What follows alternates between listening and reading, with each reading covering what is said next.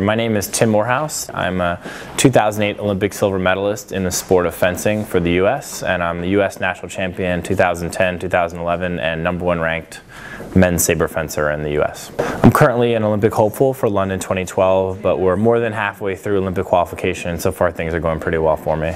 Making the Olympics is a very special, uh, very special thing. I feel very blessed that I've already been to, to two Olympic Games and um, to be able to go to London and to be a part of that Olympics uh, will be something really special.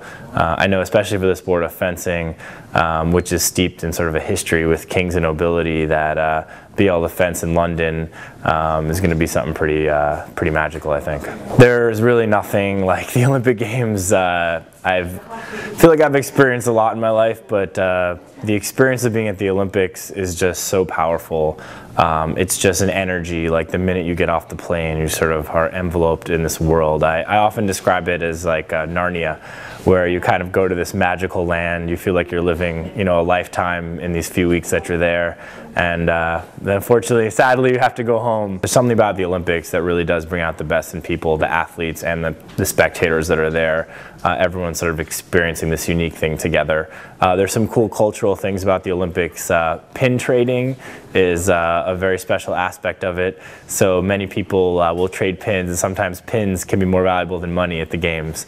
So, uh, so if you uh, are into collecting things, definitely grab some pins and uh, you'll have a fun time trading them.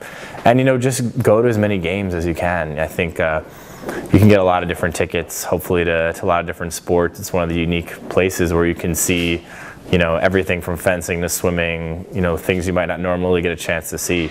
Um, so I think you know, it's uh, if you're there and you got some tickets to a few events, you're gonna have a great time. Each games that I've been to has been uh, very special, but different and unique. And I think, um, you know, Beijing had this largesse and amazing organization that just, you know, wowed you. That, you know, an opening ceremonies with I don't know 10,000 dancers or whatever, whatever it was that they had.